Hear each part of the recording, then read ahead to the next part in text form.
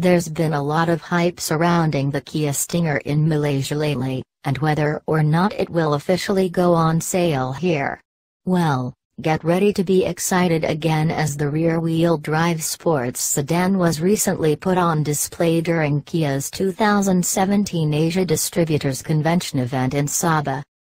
These photos were posted on the official Instagram accounts of Kia Malaysia as well as SM Nasarudin, executive chairman of Naza Group of Companies.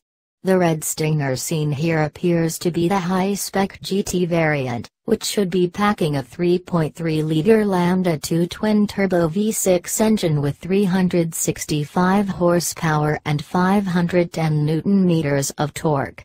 The most powerful Stinger variant will complete the 0 to 100 km per hour sprint in just 4.9 seconds.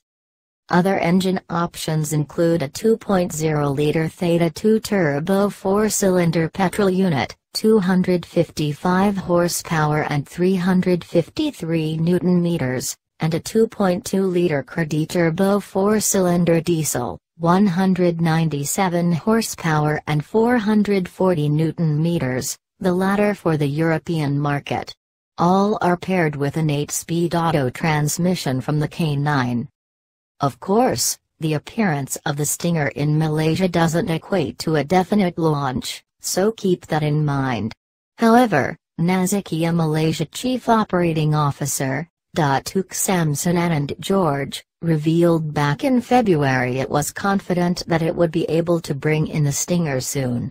We're keeping our fingers crossed for this one. For more updates subscribe Moto Guru.